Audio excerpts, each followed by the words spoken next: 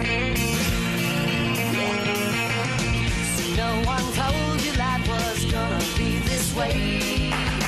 Your job's a joke, you broke. Your love life's the way. It's like you're always stuck in second gear. When it hasn't been your day,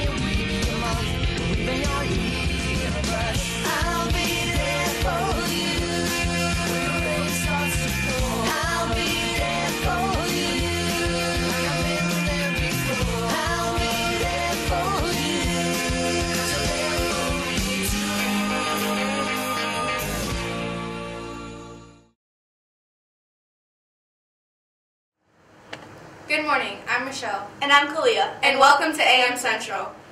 And now, here's a student segment. Cleveland had LeBron, Cincinnati had Steven Spielberg, now Springfield has Ruth and Carter. Hello, my name is David Coming, and I'm here to tell you all about the genius behind the Black Panther costumes. Ruth was born on April 10, 1960, in Springfield, Massachusetts. She actually graduated right here from Springfield Central High School. Ruth has been designing costumes for a while now. Black Panther gave her a new and exciting challenge. She worked on movies such as Selma in 2014 and Roots in 2016.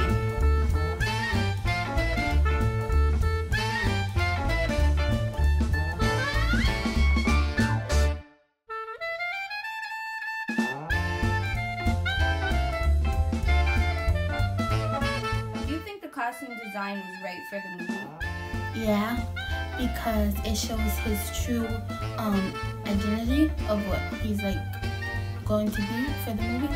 What do you mean by that? The Panther. So like they put him in a costume that kind of looks like that kind of looks like you know what he's supposed to be in the movie. What were your thoughts on the costumes in Black Panther? They were nice. They um they had nice color. They were nice looking. Do you think you could create costumes like those in the movie? And if so, would it be because of Ruthie Carter?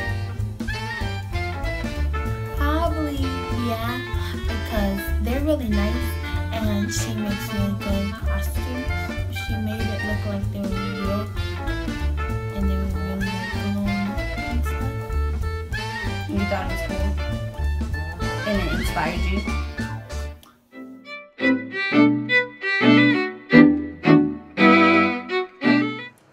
all for now, Central. Have a great day.